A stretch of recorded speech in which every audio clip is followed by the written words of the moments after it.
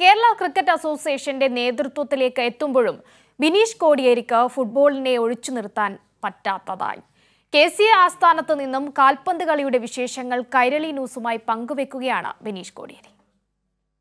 നമസ്കാരം. ഇന്ന് നമ്മോടൊപ്പം ചേരുന്നത് ഒരു വിശിഷ്ട അതിഥിയാണ് K C A Kerala cricket അസോസിയേഷന്റെ പുതിയ ഭാരവാഹിയായി ജോയിന്റ് സെക്രട്ടറിയായി ജോയിൻ ചെയ്ത തിരഞ്ഞെടുക്കപ്പെട്ട ബിനീഷ് കൊടിയേരിയാണ് നമ്മോടൊപ്പം ഉള്ളത്. കെ സി എയുടെ ആസ്ഥാനത്ത് തന്നെയാണ് അദ്ദേഹം ഉള്ളത്. എന്തായാലും അദ്ദേഹത്തിനോട് നമ്മൾ ചോദിക്കുന്ന ചോദ്യം ക്രിക്കറ്റുമായി ബന്ധപ്പെട്ടല്ല. തികച്ചും വ്യത്യസ്തമായി ഫുട്ബോളുമായി ബന്ധപ്പെട്ടാണ്. ലോകകപ്പ് ഫുട്ബോൾ ചേർത്ത് പിടിക്കുന്ന ഒരു സ്പോർട്സ് താരം കൂടിയാണ് ബിനീഷ് എന്നുള്ളതാണ് ഏറ്റവും പ്രത്യേകത.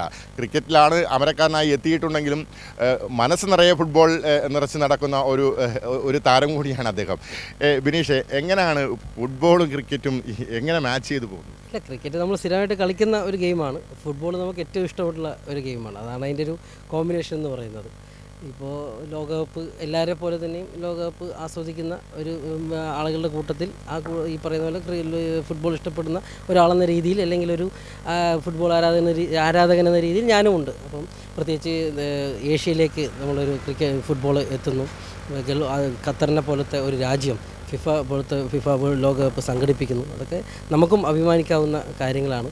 അപ്പോൾ ഇത്തരത്തിലുള്ള വലിയ കാര്യങ്ങൾ ചെയ്യാൻ വേണ്ടി ഖത്തറിനെ പോലെയുള്ളൊരു രാജ്യം കൂടി പറ്റി അല്ലെങ്കിൽ അവിടെ ലോകകപ്പിന് സജ്ജമാക്കിയ കൂട്ടത്തിൽ പ്രത്യേകിച്ച് അഭിമാനിക്കാവുന്ന നമ്മുടെ മലയാളികളായിട്ടുള്ള നിരവധി ആളുകൾ ആ ലോകകപ്പിന്റെ സംഘാടക സംഘാടനത്തിനും ലോകകപ്പിന്റെ ഭാഗമാകുകയും ചെയ്യുമെന്ന് പറയുമ്പോൾ ലോ ഈ ലോകകപ്പ് എല്ലാം കൊണ്ടും നമുക്കൊരു വലിയൊരു സ്പെഷ്യലാണ് ശരിക്കും പറഞ്ഞാൽ.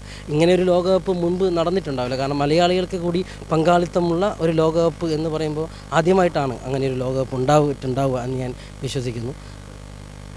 ഒപ്പം ഖത്തറിലേക്ക് എത്തുന്നു ഏഷ്യൻ രാജ്യങ്ങളിലേക്ക് എത്തുന്നു. പക്ഷേ ഏഷ്യൻ രാജ്യങ്ങൾ ഈ ലോകകപ്പിൽ ഒരു മിന്നൽ പിണറായി മാറുന്ന സാഹചര്യമുണ്ട്. കാര്യം അർജന്റീന എന്ന വലിയ ഫുട്ബോൾ ലോകത്തിന്റെ ഏറ്റവും കീഴടക്കി നടക്കുന്ന ഒരു രാജ്യത്തെ കീഴടക്കുന്നു. ജർമ്മനി എന്ന മറ്റൊരു മഹാരഥന്മാരെ ജപ്പാൻ പരാജയപ്പെടുത്തുന്നു. എങ്ങനെയാണ് ഏഷ്യൻ മേഖലയിലുള്ള ഈ ക്രിക്കറ്റ് ഈ ക്രിക്കറ്റ് എന്ന പോലെ ഏഷ്യൻ മേഖലയിൽ ഫുട്ബോളിന്റെ ഒരു വലിയ വികാസത്തെക്കുറിച്ച് കാണുന്നത്? ഇല്ല ജപ്പാൻ മുമ്പ് ലോകകപ്പ് സംഘടിപ്പിച്ച ഒരു രാജ്യമാണ്. ദക്ഷിണ കൊറിയയും ജപ്പാനുമായിരുന്നു ലോകകപ്പ് സംഘടിപ്പിച്ചിട്ടുണ്ടായിരുന്നു ജപ്പാൻ ആ കാലം തൊട്ട് തന്നെ വലിയ രീതിയിൽ കറുത്ത കുതിരകളായിട്ട് വന്ന ഒരു രാജ്യമായിരുന്നു ജപ്പാൻ. സ്വാഭാവികമായിട്ടും ജപ്പാൻ മുമ്പും അവ- അവരുടെ വരവറിയിച്ച രാജ്യമാണ്. ജർമ്മനി പോലത്തെ ഒരു വലിയ രാജ്യത്തെ ജപ്പാൻ കീഴടക്കിയിരിക്കുന്നു. അഭിമാനകരമായ നമുക്ക് പറയാവുന്നതാണ് ഏഷ്യൻ രാജ്യം അതേപോലെ തന്നെ അർജന്റീന അർജന്റീനയെ പറയുമ്പോൾ സ്വാഭാവികമായിട്ടും എനിക്കൊരു വിഷമമുണ്ട്. കാരണം വർഷങ്ങളായിട്ടും നമ്മൾ ഏറ്റവും നമ്മൾ ഞാനൊരു അർജന്റീനയുടെ ഏറ്റവും വലിയൊരു ആരാധകനാണ്. അതിപ്പോൾ പെട്ടെന്നൊരു ലോകകപ്പ് വന്നത് കൊണ്ടോ അല്ലെങ്കിൽ ലോകകപ്പിന്റെ ഒരു കളി നഷ്ടപ്പെട്ടത് കൊണ്ടും അർജന്റീന ആരാധകനായിട്ടുള്ള ആൾ പെട്ടെന്ന് മാറുമെന്നില്ല അതിപ്പോൾ ഒരു ഒരു ഒരു ഇലക്ഷനിൽ ഇലക്ഷൻ തോറ്റു എന്ന് വിചാരിച്ചിട്ട് നമ്മളൊരു പാർട്ടി മാറുമെന്നില്ലല്ലോ അപ്പോൾ അർജന്റീന എപ്പോഴും ഒരു വികാരമാണ്. അപ്പോൾ സൗദി പക്ഷേ നമുക്ക് നമുക്ക് എല്ലാ നമ്മുടെ മലയാളികളായിട്ടുള്ള ആളുകൾ ഏറ്റവും കൂടുതൽ നിൽക്കുന്ന രാജ്യം പല പല ആളുകളുടെയും ഒരു പോറ്റമ്മ എന്ന് പറയുന്ന സ്ഥലമാണ് സൗദി.